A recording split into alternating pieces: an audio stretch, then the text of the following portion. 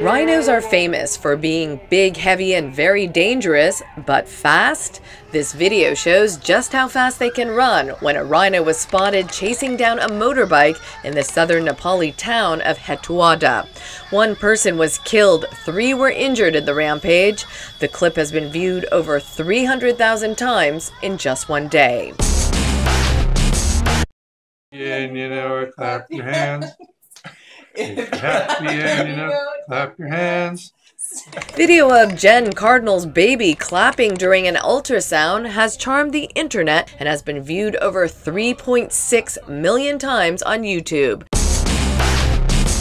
And dragon boat teams from around the world are dusting off their paddles for the summer season.